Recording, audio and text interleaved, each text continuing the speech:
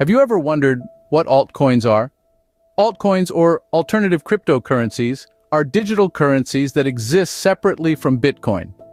While Bitcoin was the first cryptocurrency, altcoins offer unique features and serve different purposes. One example of an altcoin is Ethereum, which is not just a digital currency, but also a decentralized platform that enables the creation of smart contracts and decentralized applications. Another altcoin, Ripple, focuses on improving international remittances and facilitating fast, low-cost transactions.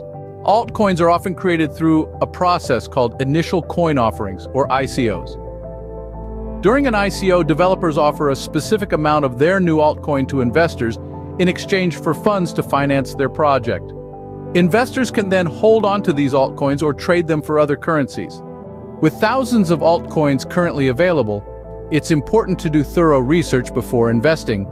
Factors such as the project's team, its goals, and the market demand for the altcoin should be considered.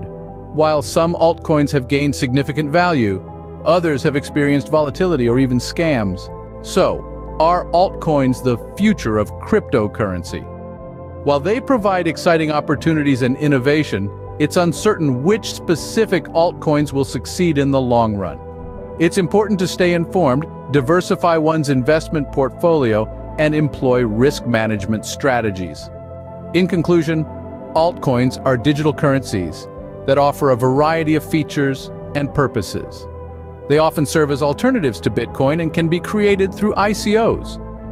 Whether or not altcoins are the future of cryptocurrency remains to be seen, but they certainly contribute to the constantly evolving landscape of digital assets. Thanks for watching this video, and don't forget to subscribe to our channel for more informative content. And let me know in the comments what topics interest you for the future video.